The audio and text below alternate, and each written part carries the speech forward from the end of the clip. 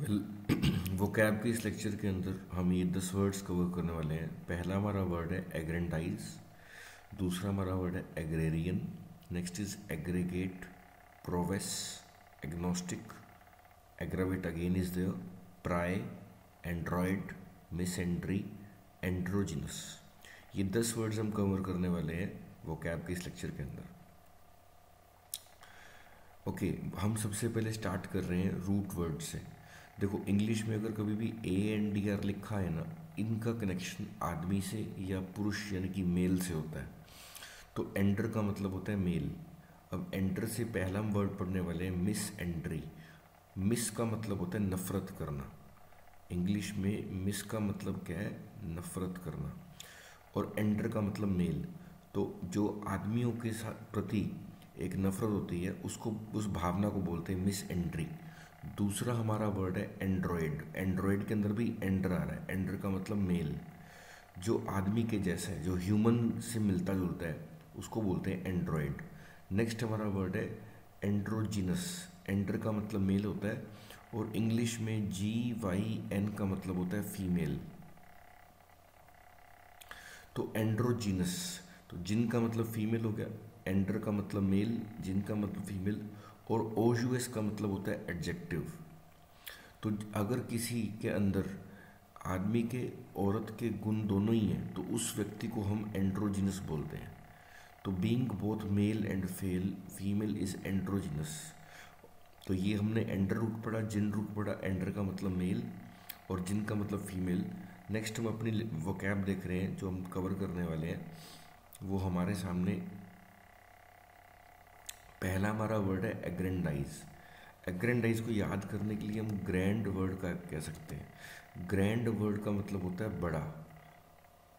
तो किसी चीज़ को बढ़ा चढ़ा कर बताने को बोलते हैं एग्रेंडाइज करना. तो इसको हम ग्रैंड से याद कर सकते हैं. दूसरा हमारा वर्ड है एग्रेरियन इसको याद करने के लिए हम समझेंगे कि इंग्लिश में जब भी ए जी आर लिखा हुआ आता है, ऐसे वर्ड्स का कनेक्शन खेती बाड़ी से. यानी कि एग्रीकल्चर से होता है। तो एग्रेरियन क्या होता है? खेती बाड़ी करने वाला। क्या होता है? एग्रेरियन या खेती बाड़ी से जुड़ा हुआ शब्द है एग्रेरियन नेक्स्ट हमारा वर्ड देखते हैं। दैट इज़ एग्रेगेट एग्रेगेट का आप यहाँ पर देख सकते हो, यहाँ पर पाइल्स बनी हुई है, इकट्ठा करने को बोलते हैं एग्रेगेट करना। एकुमुलेट करना।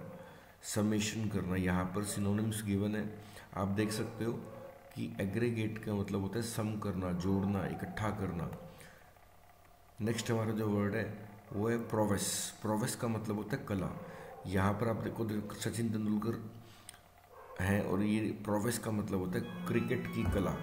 तो कौशल को बोलते हैं और यहाँ पर फेडरर है टेनिस की कला। कला को बोलते हैं प्रोवेस नेक्स्ट हमारा वर्ड अगेन एग्रेरियन हमने पढ़ लिया नेक्स्ट हमारा वर्ड है एग्नोस्टिक एग्नोस्टिक वर्ड पढ़ने के लिए हम नास्तिक वर्ड पढ़ेंगे।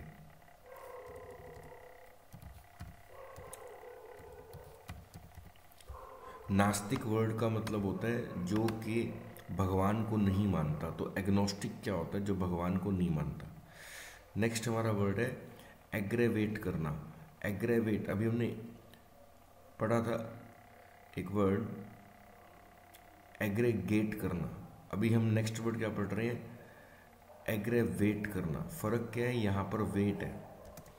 तो खराब कर देने को, बद से बदतर कर देने को एग्रेवेट करना। जैसे आप ये देख सकते हो इसका मुँह खराब कर रहा है। बदतर कर देना, खराब कर देना, इसको बोलते हैं एग्रेवेट कर देना। किसी को मैग्नीफाई कर देना, बढ़ा देना, ये सब एग्रेवेशन होता है। नेक्स्ट हमारा वर्ड है प्राय प्राय वर्ड यहाँ पे विराट कोहली, अनुष्का शर्मा कि विराट कोहली क्या कह रहे हैं कि do not pry into our personal life यानी कि हमारी पर्सनल जीवन में दखल मत दो। प्राय का मतलब होता है निजी जानकारी प्राप्त करने की कोशिश करना प्राय करना। तो ये हमने लिस्ट कवर की है अपनी वो कैब की। एग्रेंडाइज का मतलब बढ़ा कर बताना एग्रेरियन खेती बाड़ी एग्रेगेट इकट्ठा करना prowess agnostic pry android misandry androgynous Thank you.